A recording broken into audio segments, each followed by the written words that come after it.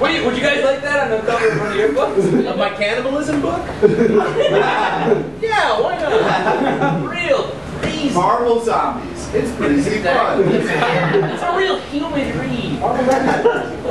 It is. It is. Pleasant. It is. And, and, yeah, I, I, I support you on the breezy fund. Thank you very I think that's a good phrase. I, I, Yeah, you know, it is. that's a good quote. quote. Thank you very much. I'm It's sure a real, it's a real kick in the pants. yeah! It's your catchphrase. That is my catchphrase. My Basically, this guy can eat stuff and get psychic impressions of wherever that food has been. He ends up getting recruited by the FDA, which is the most powerful law enforcement agency in the world. Yeah, that's the craziest thing I thought about this book is it takes place in a world where because of avian bird flu, chickens are illegal to eat.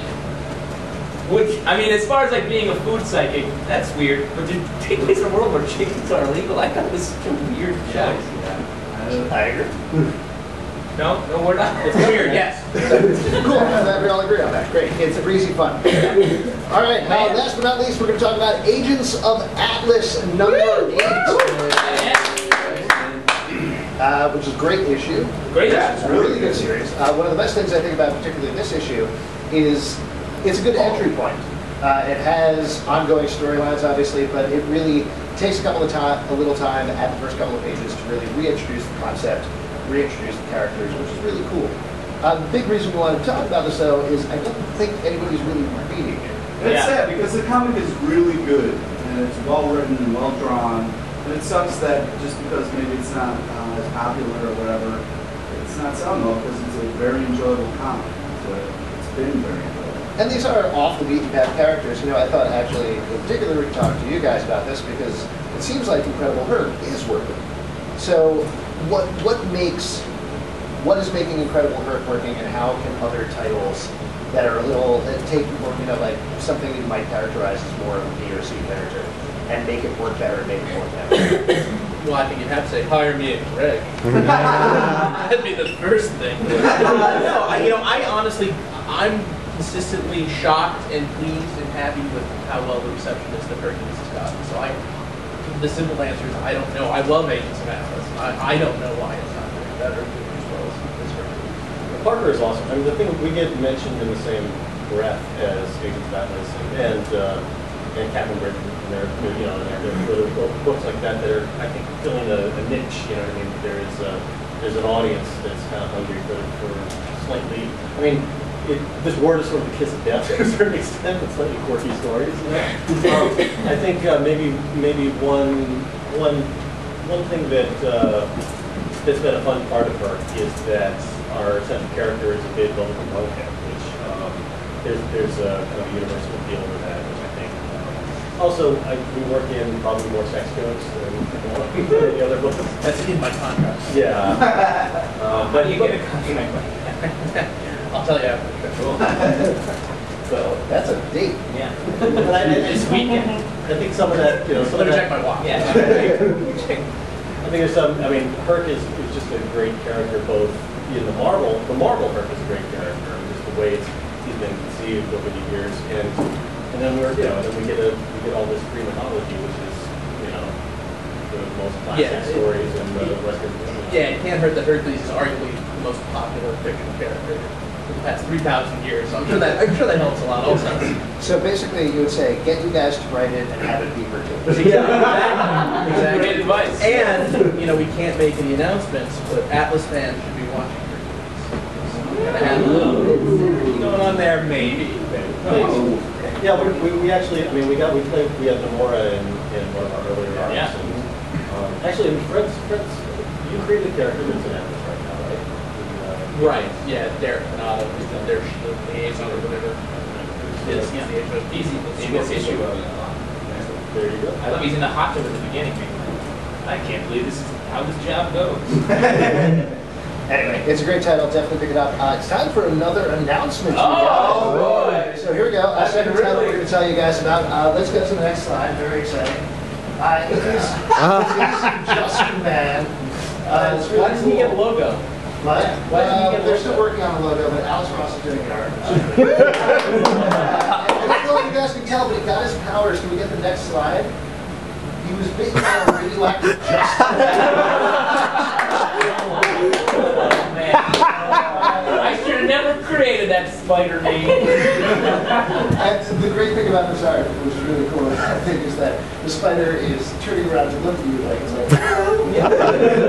so that's pretty exciting. That's great, yeah. It's really exciting. That's great, and that's it for the stack. I like that I did myself to become myself. It's That's uh, it's a metaphor. Yeah, no, I know. Great. All right, it's time for our next section, which is my favorite section because you guys make it your make it up. It is your audience questions, and for that we're going to bring out Booth Man. Booth man. This ensemble. He, uh, Fred, could you take off your pants and give it? I really would like to. I told you. My watch says no. No. Next, uh, next and first question. If you could do another World War Hulk as your World War Spider-Man, World War Wall, who would it be? That's a great question. Um, Thanks. I would, uh, I actually thought that, um, I have to think about that for, for just a couple minutes here. Would you have an answer to that, Bert? How about World War Squirrel? Yes. He's already beaten everybody else up anyway. Just have her take out the entire Marvel universe. You know, what, actually, what I. And all the countries, thus making a World War. That, that, yes, exactly, the, the world aspect of it. Um, the, uh, one character I always thought would be an interesting character to have put in the Hulk's place, shooting him into space on this alien planet and have him come back later, would actually have been Doom.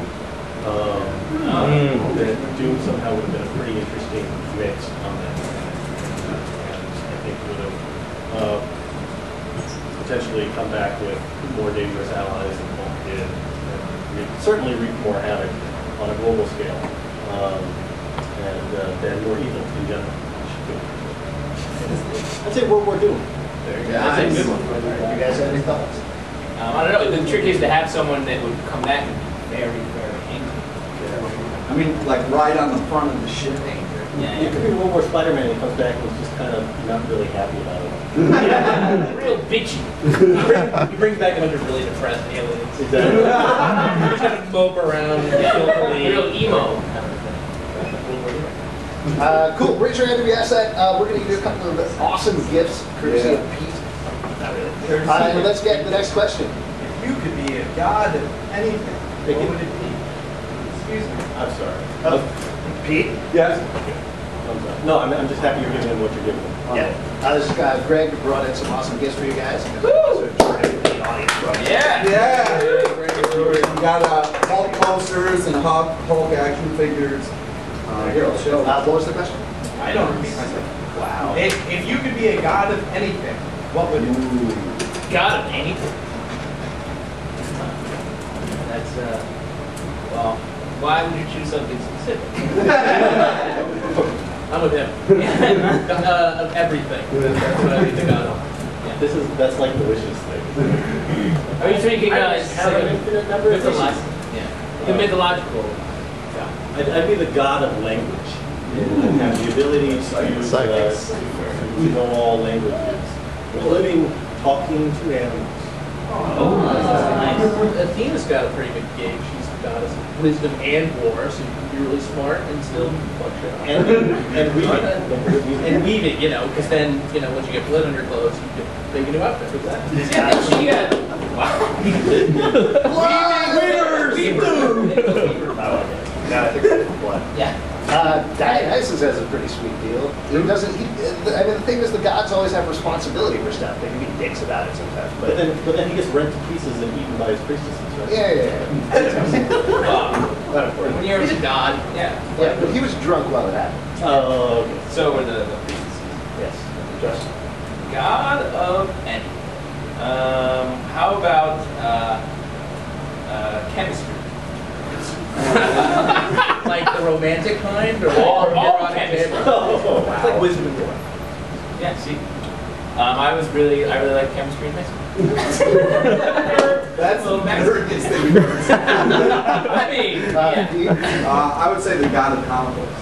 Oh. Real easy answer. I would have the greatest collection of all time. But you still wouldn't have two number one. I would banish it from my collection. Raise your hand if you asked that. Please can bring you some gifts. Let's get the next question.